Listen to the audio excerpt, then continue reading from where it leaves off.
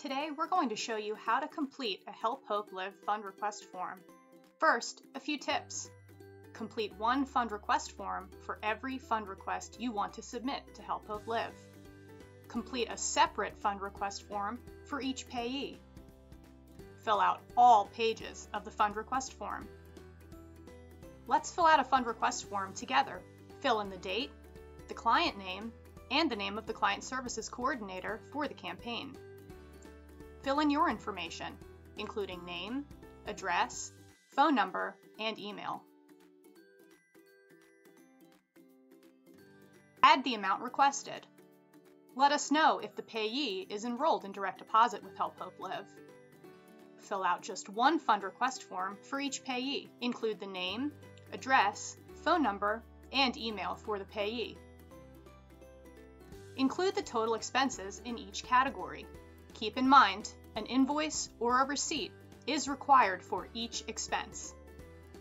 If medical travel is one of your expenses for this fund request form, fill in the travel log with date of travel, destination, miles, tolls, and parking. If medical travel is not part of your expenses for this fund request form, leave this page blank. If daily food for medical travel or temporary relocation is part of your expenses for this fund request form, fill in the daily food and incidentals log page with names, dates, and number of days.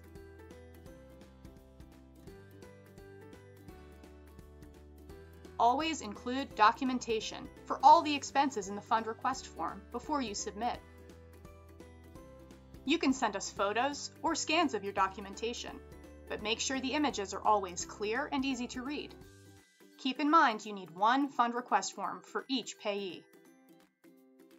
Let's submit.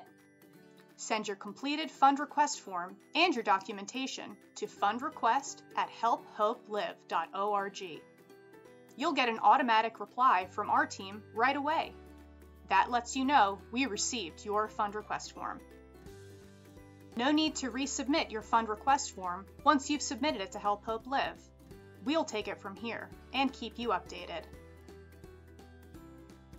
You can find additional tips and instructions in our Hope Talk video about filling in fund request forms.